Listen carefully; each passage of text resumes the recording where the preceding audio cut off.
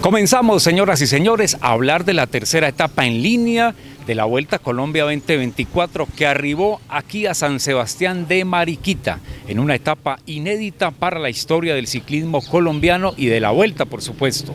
Aquí el ganador fue Alejandro Osorio, que en su primera Vuelta a Colombia ya lleva dos etapas para Osorio y para su equipo, el GW Erco Chimano.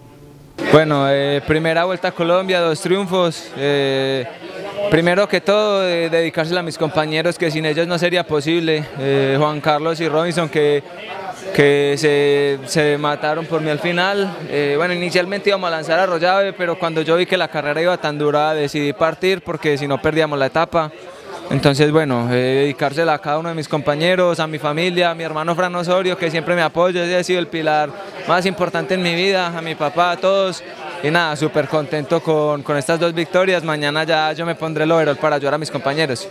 Y se viene la alta montaña en la Vuelta a Colombia, la llamada etapa reina corresponde ahora a los ciclistas de la Vuelta. La etapa va a terminar en el Alto del Sifón. Se ha recortado por los derrumbes en la vida desde Murillo hasta la ciudad de Manizales. De todas formas, es una etapa muy pero muy exigente. Invitamos al líder de la montaña, Edgar Pinzón, aquí en la información de CNC Cali y CNC Colombia. Ya eh, reconocimos la etapa y sabemos que que cuando uno le da una pájara o cuando uno no come bien o una deshidratación arriba la va a pagar y no estamos hablando de segundos sino de minutos. Eh, del sifón que le llaman hacia allá, recorrer casi 30 kilómetros a, más de 3.000 de desnivel positivo creo que es un gran reto para todos. Y bueno, yo creo que, que es muy fuerte, me siento muy bien, he venido en progresión en estos días y esperamos mañana hacer un bonito espectáculo, no solo conmigo, sino también con mis compañeros.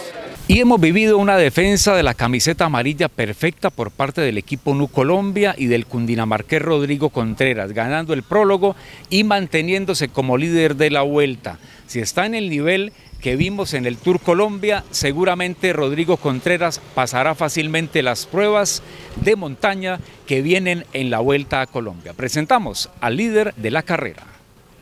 No, siempre el sueño de todo ciclista o poder ganar una vuelta a Colombia.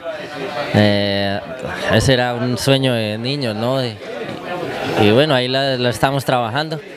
Vamos día a día y muy contentos. Yo creo que lo más importante es disfrutarnos el día eh, a plenitud y ahora en Mariquita vamos siendo líderes y afortunadamente la salud nos acompaña.